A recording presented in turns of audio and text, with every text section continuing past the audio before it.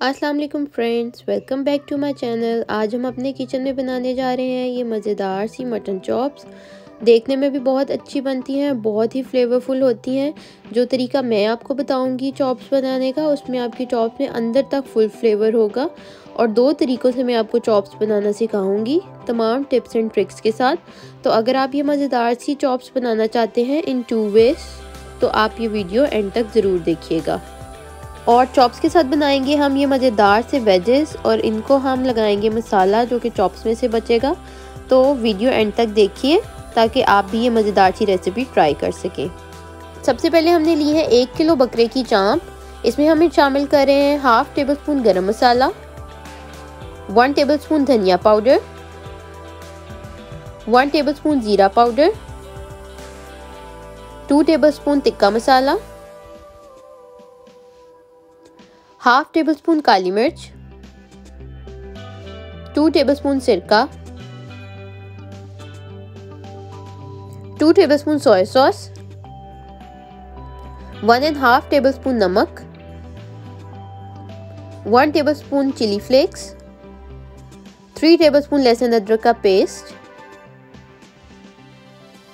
Three table spoon दही है मेरे पास वन फोर्थ टेबल स्पून जर्दा रंग है ऑप्शनल है अगर आप डालना चाहते हैं तो। इन सब चीज़ों को हम अच्छे तरीके से चॉप्स के ऊपर मल लेंगे, मसाला और दही को अच्छे तरीके से आपने मिक्स कर लेना है। और उसके बाद हम इन चॉप्स को मैरिनेट होने के लिए रख देंगे, कम अज़ कम दो घंटे।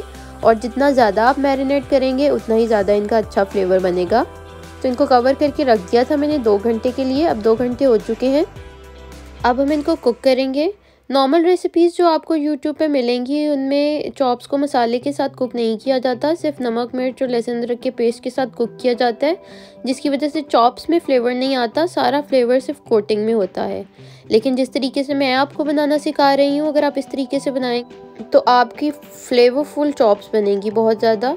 चॉप्स को मैंने प्रेशर में शामिल कर दिया है, इसमें मैंने डाल दिया है डेढ़ कप पानी, और अब मैं इसको पंद्रह मिनट के लिए पकाऊँगी प्रेशर देकर। यानी विसल बजने के बाद 15 मिनट तक मैं इसको कुक करूँगी। 15 मिनट हो चुके हैं। चॉप्स हमारी देखें, गल गई हैं, मैं आपको दिखाती हूँ। बिल्कुल हमारी सॉफ्ट हो गई हैं चॉप्स, फुली कुकड हैं ये। और इसको मीडियम फ्लेम पे मैंने 15 मिनट के लिए विसल दिया है। एक एक करके चॉप्स को आप प्लेट पे निकाल लें। अब हम इनको कोट करके फ्राई करेंगे। प्रेशर में जो मसाला बचेगा वो भी आप एक बाउल में निकाल लें। इस मसाले को हम वेजेस में ऐड करेंगे। बाद में मैं आपको वेजेस भी बनाना सिखाऊँगी। अब हम कोटिंग की तरफ़ चलते हैं कि कोटिंग करने के लिए हमें क्या क्या इंग्रेडिएंट्स चाहिए। तो कोटिंग के लिए सबसे पहले मैं लूँगी दो अंडे। इसमें मैंने शामिल किया है टू टेबल स्पून कॉर्नफ्लोर आप चाहें तो सादा मैदा भी शामिल कर सकते हैं। इसमें मैं शामिल कर रही हूँ one tablespoon kasuri methi. Half tablespoon salt इसको मैं अच्छे तरीके से मिक्स कर लूँगी। अब चॉप को आपने अच्छे तरीके से अंडे के अंदर डिप करना है और उसके बाद इस पे लगा रही हूँ मैं ब्रेड क्रम्स ब्रेड क्रम्ब से कोट करने के बाद हम इसको शामिल कर देंगे। मीडियम हीट पे मैंने ऑयल गरम किया था उसमें और इस पे मैं इसको गोल्डन ब्राउन होने तक पका लूँगी। आपने इसको जलाना नहीं है। चॉप्स हमारी अंदर से फुली कुकड है। आपने सिर्फ़ एक अच्छे से कलर के लिए इनको फ्राई करना है। तो ये देखें, ज़बरदस्त सा हमारा कलर आ गया है चॉप्स पे। कितनी ये खूबसूरत लग रही है और खाने में भी बहुत ही टेस्टी है। अब हम चलते हैं अपने दूसरे तरीके की तरफ़। इसमें आपने एक कप मैदा लेना है और उसको अच्छे तरीके से छान लेना है। मैदे में हमने शामिल करना है हाफ़ टेबल स्पून कसूरी मेथी।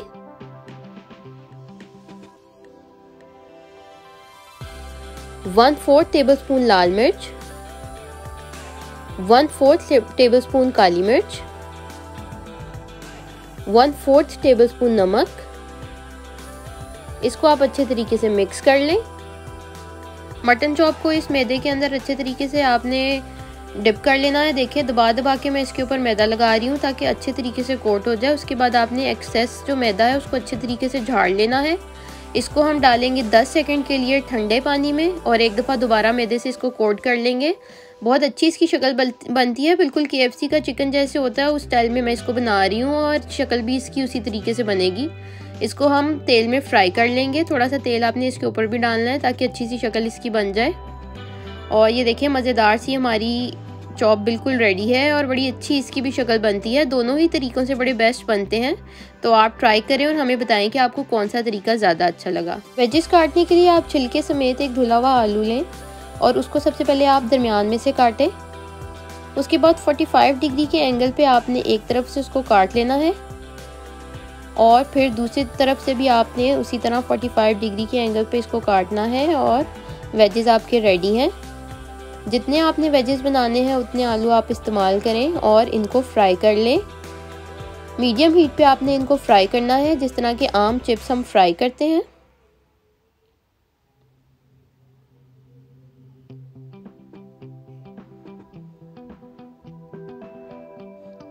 जी तो देखिए, वेजिस को मैंने फ्राई करके निकाल लिया है। अब जो मसाला हमने चॉप्स में से बचा था, वो हम इसके ऊपर लगाएँगे। मसाले को मैं एक बाउल में शामिल करूँगी। इसमें डालूँगी मैं वेजेस। और इसके अलावा इसमें मैं डालूँगी प्याज। अगर आपको पसंद है तो आप शामिल कर लें। इसको अच्छे तरीके से मिक्स करें, ताकि सारा मसाला प्याज़ों पे और वेजेस पे कोट हो जाए। और देखें, मज़ेदार से हमारे वेजेस बिल्कुल रेडी हैं। बहुत बहुत बहुत ही यमी होते हैं ये वेजेस आप ज़रूर इनको बताइएगा साथ में। तो जी, हमारी चॉप्स बिल्कुल रेडी हैं। अब मैं आपको इनको तोड़ के दिखाती हूँ। बहुत ही अंदर से सॉफ्ट और टेंडर होती हैं। बहुत फ्लेवरफुल होती हैं और शक्ल इनकी बहुत अच्छी बनती है। आप ज़रूर ट्राई कीजिएगा। और आपको हमारी रेसिपी कैसी लगी, हमें कमेंट सेक्शन में ज़रूर बताइएगा। ये जो हमने दूसरे स्टाइल की चॉप्स बनाई हैं, ये बहुत क्रंची बनती हैं और इनसाइड से बहुत सॉफ्ट होती हैं। अगर आपको क्रंची पसंद है तो आप ये वाला तरीका आजमा के देखें। और बहुत ही यमी बनती हैं। तो ज़रूर ट्राई कीजिएगा और दुआओं में हमें याद रखिएगा। बहुत ही क्रंची है ये भी। आपको हाथ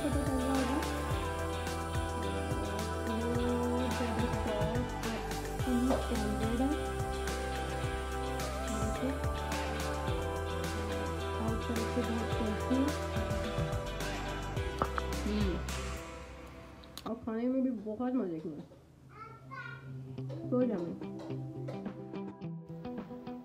जी तो ये है हमारी नेक्स्ट रेसिपी जिसमें हम बनाएँगे के एफ़ सी ट्विस्टर रैप तो अगर आप ये रेसिपी देखना चाहते हैं तो stay tuned to our channel